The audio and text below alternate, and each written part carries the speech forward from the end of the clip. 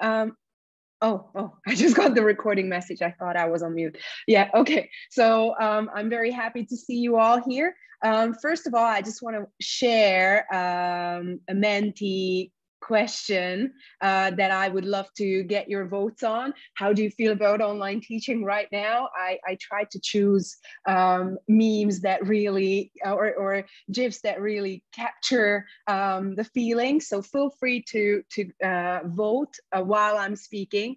So actually what I would like to talk about today is hybrid teaching problems and solutions. So as I mentioned, if you saw my little teaser video or the abstract, um, basically, I'm going to talk about or share the case of, a, of the university where I teach in Hungary, Budapest.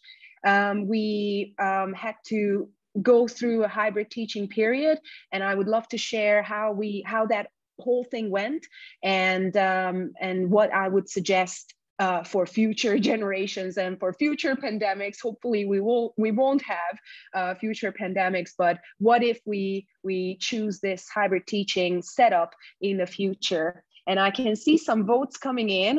Um, I'm very happy actually that nobody feels like the this lady here um, completely losing her mind, and you mostly feel all right and awesome. Um, I'm really really happy about that. Feel free to vote on this. I'm going to switch the screen now to my slides, but um, feel free to, to share your opinion. And actually this talk is going to be slightly interactive. So I'll be using the chat to gather your opinions from time to time. So I'm just gonna uh, move on to my slides. Here we go. So um, yeah, so basically, just a little recap of what happened in 2020. You are all aware of the situation we're in COVID and quarantine teaching. Um, but basically, there were lots of very, uh, like, lots of different online teaching scenarios and lots of different solutions depending on mostly our self motivation as teachers and our budget and and institutional support if you were lucky enough to have institutional support. So that's that really characterized how we managed to deal with this situation. And before um, i talk about hybrid i just wanted to show you this little um, graphic or um, design i created about the different teaching scenarios or learning modes that we have and right now, we are doing a synchronous talk, right? So you're all here with me, I'm talking, you listen to me, and it's all live, even though it's online. But we could all do this asynchronously, that I, as um, there are several talks like that during this uh, BALEAP event, that there are pre-recorded um, talks that you listen at your own time, where, wherever you want, and then come to even either you don't go to any session so then it's completely asynchronous you don't meet anyone anytime you just listen to the video or it can be um, this flipped blended sort of thing in the middle that means you watch something and then you come to a live synchronous discussion. But then, and this is my first question to you, which I would love to uh, see your answers for in the chat where does hybrid go? So I'm really curious about your understanding of hybrid teaching. So what is it? And I'm trying to open the chat. So I would love to see what you think about this. Oh, the Menti code. Yes, here you go, by the way. Um, okay, so what I would love to see, and you can also speak up or write it in, what do you think hybrid is? Ooh, very good. I can see instruction and feedback live, but students at home. But I also see in person and live at the same time. Ah, okay. Blended. Okay, very good.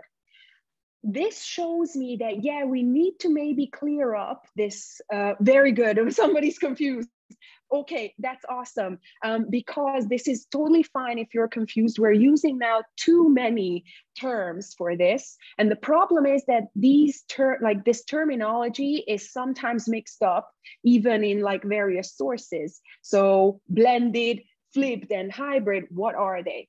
The main difference is that blended actually means that the course is designed in a way that you, uh, students get asynchronous elements for a while, let's say for a day or for a week, and then they go in to the school, either face to face or online, and they have a period of that. So it's a period of asynchronous and a period of synchronous separated from each other, while hybrid is putting the two together. So somebody wrote it very well. Hybrid is when some students are in the classroom, face to face, physically sitting at a table. I know it sounds very strange to us now. And some students are following the lesson online from home synchronously. So a hybrid teaching situation is when it's synchronous, but some are there physically and some are online. Oh, somebody says that they have done it and it's so cool. I'm very happy that you've got so positive or such positive um, feelings about it. And I'm going to share you what my experience was. It wasn't so positive at first. Now, the thing is, yes, okay, I can make it move. So my university situation, basically, um, we did this hybrid teaching um, period in the fall of 2020. Uh, we started so in a socially distanced way, which meant that um, student numbers had to be reduced in a, in a classroom um, and we had to wear masks. We couldn't have handouts. Um, so everybody had to be completely distanced from the rest. Um, and then very very quickly in like a week we had to uh, switch to hybrid because there were a lot of students who had to be or, or who had to stay at home. I'm also involved in the teacher training department. So these teachers had to stay in quarantine for example. So we lost more and more students. Um, that created this hybrid teaching period. And then we went fully online at the end of november I'm going to tell you how we did that. Um, and the thing is, I cannot see my cursor, so I cannot close the chat. So sorry for a moment. I need to stop the share. Uh, now I can see it. Okay, wonderful. Okay, so here we go. Um, I divided the R situation into separate categories. So I was looking at how lecturers, so those who had lectures, dealt with the situation and how teachers dealt with their seminar work. And I also want to tell you what the uh, teachers did with no technological background or support. So basically, what they did is they had to completely disregard the online students. Um, they just uploaded the material onto Moodle, um, the virtual learning environment we use at our university. Um, the face-to-face -face students were there. The online students had to self-study. So these teachers, unfortunately, picked a solution that left the online students, uh, that left the, them out completely. Now, there were teachers who had some background and some support. They started to move away from the Moodle uh, universe that we have to use. So they uploaded material onto Google Drive and they live streamed their lecture on Teams, Zoom, or Meet. The seminar teachers um, did some, like it wasn't entirely different. All they did was they sent the online activities to the online students. Um, so if they created a quiz or a game or a matching activity, they send those activities to the online students to be done synchronously. Um, and they pulled the laptop a little closer so that they could be a part of the conversation, but still it was live streaming. Now, those who had lots of tech background, they still didn't do, and what I'm saying here is important, they still didn't do the ideal um, solution because it happened so quickly. So even those who had lots of tech background tried to come up with something techy, but still it wasn't the best. But what they did is that um, they used Google Classroom um, and they tried to give differentiated activities. So while face-to-face students were discussing something in class, real time. The online students had to answer it on Google Classroom um, in, a, in an assignment. That was one way of keeping them synchronous. The other option was that these lectures include um, recorded asynchronous interactive video lectures. So they canceled the lecture and um, they recorded a video lecture which was shorter but had interactive questions and activities that were included.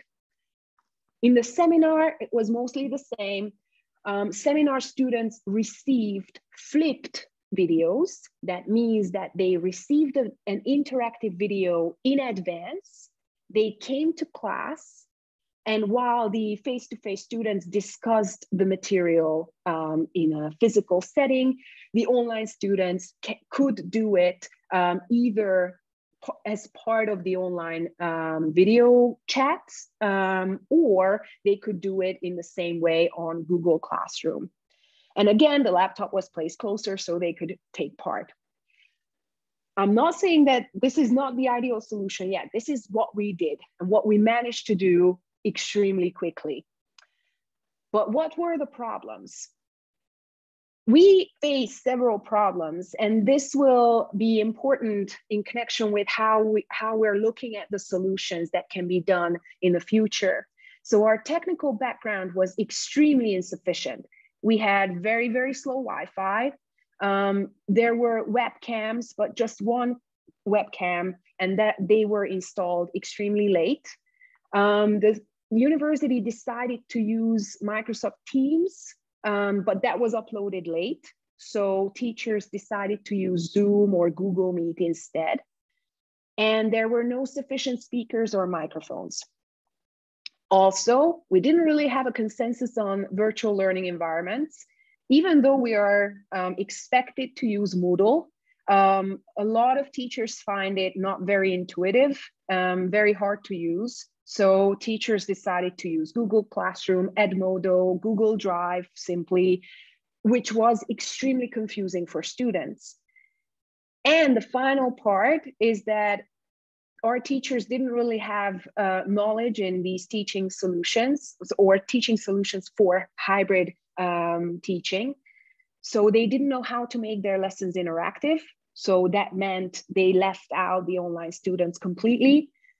They didn't know how to differentiate. So, what kind of tasks can I give to the online students and what can I give to the face to face students? And copyright, which actually, um, yeah, it turned out to be a big problem. How do I share material? Um, what will I do? How, can I share a complete book? Can I, can I send a video? What can I send? How can I share? So that caused some issues as well. So that's why I'm um, now telling you what the institution can do. So possible solutions that the that can come from the institutional side. Basically, it would be nice if the institution could provide tech and software for teaching, which means that in the ideal hybrid classroom, it would be nice to have at least two cameras. So, one that um, records the class, the other that records the board in the most ideal solution, there are 360 uh, cameras, so that can take in the whole classroom, and several are installed in the class. That's a big investment. So actually, the like a nice solution would be to have at least two. And software. So it turned out that, um, for example, for creating interactive videos or flipped videos, um, some websites, for example, Nearpod, which a lot of us use, um, now they are uh, the asynchronous part of Nearpod is not paid anymore. But when we started in 2020, it was still paid. And um, it would have been nice, or it would be nice in the future if an institution could uh, buy an, uh, a subscription for such software. Another thing, use one VLE that's preferred by teachers. So we found that it, uh, students really struggled with using several virtual learning environments. Some used Teams, some used Classroom, some used Moodle. and there was no consensus.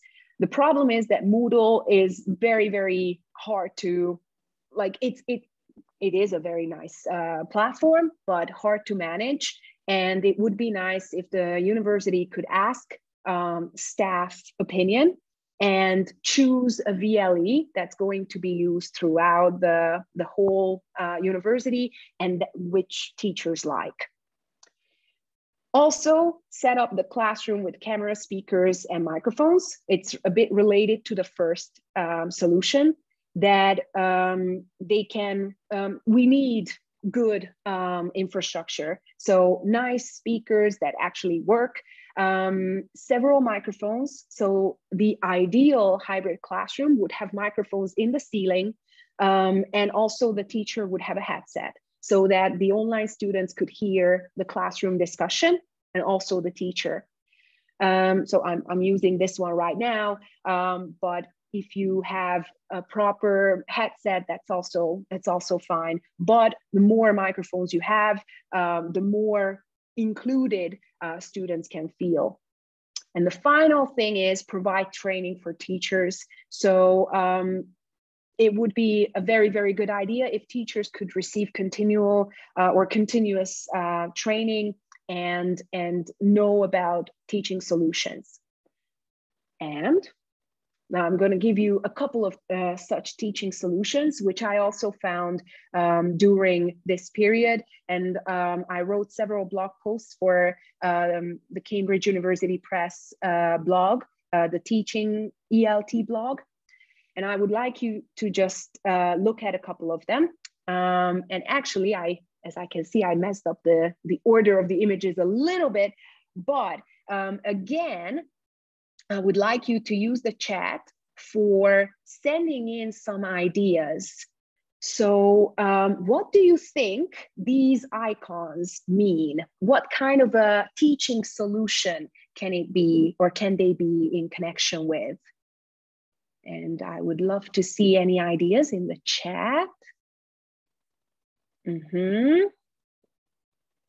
Uh-huh, very good. So quizzes, polling, very good. Yeah, very good. You've got uh, the right ideas. The nice thing will be that because I messed up the order, they will appear in a slightly different way. So actually, um, what's important in these two cases is that I'm going to show them all at once is what you said. So tip number two is for joint or collaborative work. Use online tools that let everyone interact. And that's a good idea for hybrid teaching situations because you, first of all, you never know who's going to be online or present online or present face to face. So if you're building your lesson around online tools and online collaborative tools such as Google Docs, which is cloud based, then uh, you can always have everybody interact and um, they, they won't feel left out. The first tip um, is use shortcomings to your advantage. So it's a kind of, uh, uh, let's say, a hack uh, of using online students for your benefit. The thing is, maybe you know um, from English language teaching um, um, context that there are many inform information gap activities. And um, in that case, some students don't know something while some students are involved. So in this case, you can use this hybrid solution for your benefit. Just switch off the online students or turn the micro microphone off. You can tell one thing to the face-to-face -face students, which they can then relay or discuss with the online students. So it's a genuine information gap situation. Um, now I'm going to show you another idea Again, I would love to see in the chat what you think of this image. Let's see. What do you think this image might show? Mm -hmm. I'm going to tell you that it basically wants to like illustrate screen sharing. So what I would recommend is if you can get an ebook version of your course book, then um, use screen share and use it to involve online students as well. Again, this is where the copyright issue comes in. So whether we can share PDFs or whether we have the actual ebook version of a book that we're using, the textbook, course book, but it's a good way to um, involve online students because they can also highlight, annotate that um, ebook, and they can feel a part of the, of the whole process. The next one, and I could see that it, um, I could just quickly see it in the chat, um, many of you are talking about the case in China where Google uh, is, I think, not acceptable or not like not possible to use. Um, I'm a very Google person, so I like Google uh, products very much, but I don't know actually about Microsoft in China, whether that's possible to use, but Microsoft has exactly the same things. So within Teams, you can use a whiteboard and um, there's uh, Microsoft OneNote, uh, which could replace Google Docs. So, uh, oh, Microsoft can be used in China. Very good. Um, so Microsoft products are can totally replace uh, these Google options. And an online whiteboard can be good because again, everybody can collaborate. I'm gonna give you some more tips. This is one, don't leave students unsupervised for a long time. Um, we've experienced this that teachers didn't really know how to share their attention.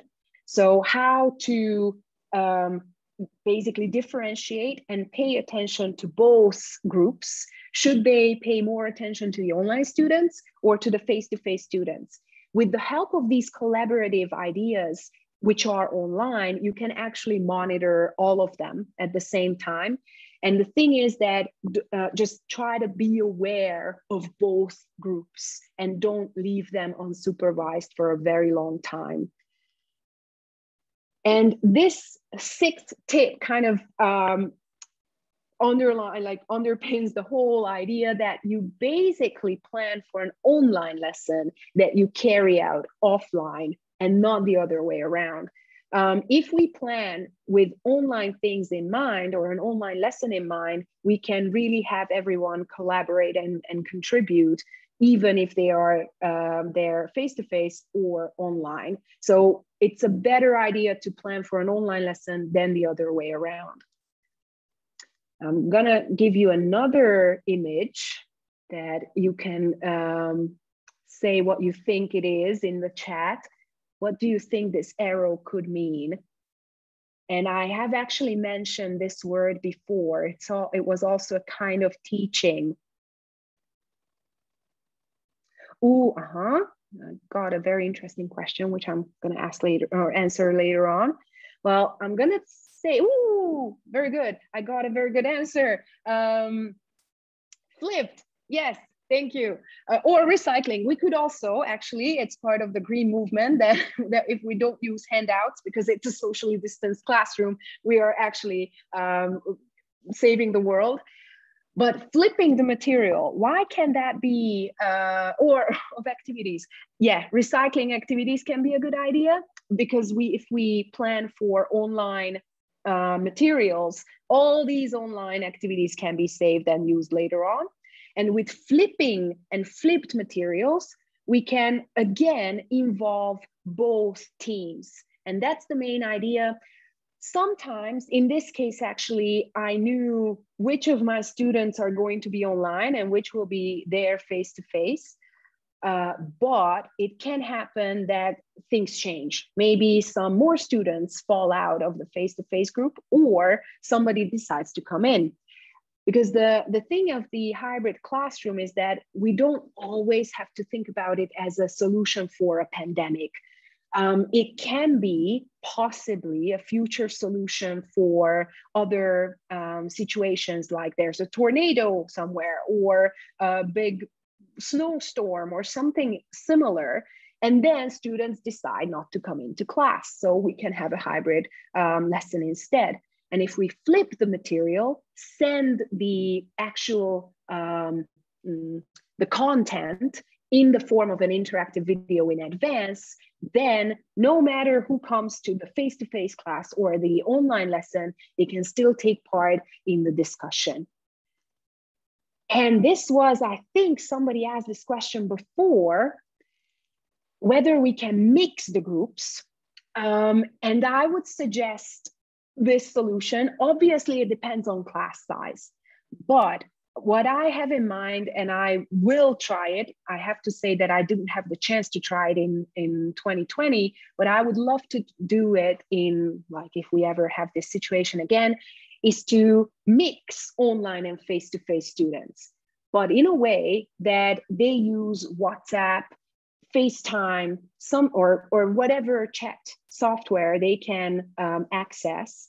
And you just put them so obviously the face-to-face situation can be chaotic.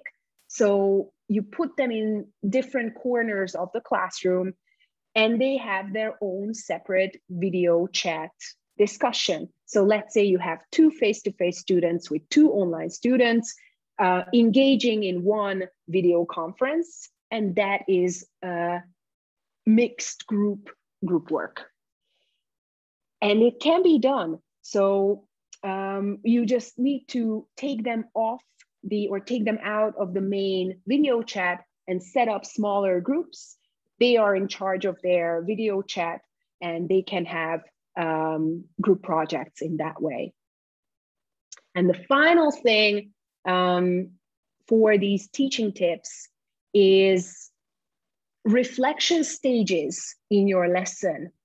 Um, it could be a very, very good idea uh, in general as well to have reflection stages. That means you ask them what they thought of the different activities, uh, what they thought of the lesson, but also this can also be done collaboratively in a, a cloud-based platform that you either ask them to use, again, I'm gonna say Google Docs, but I'm going to put in the chat one thing um, that I might show you later on.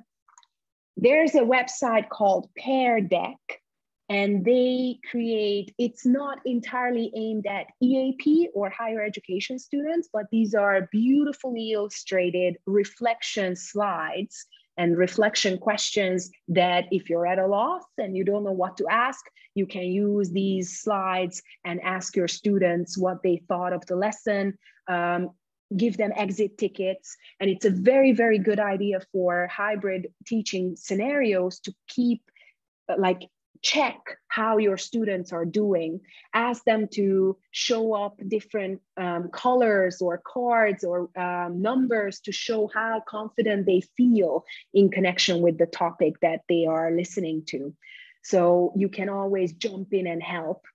And again coming back to the planning for online if this uh, feedback segment is online you can um, continuously monitor what's going on and you can see whether a student changed the color changed the number and you can jump in and help them if you see that they they got stuck at some point and my final tip learner autonomy. This is basically the most important part.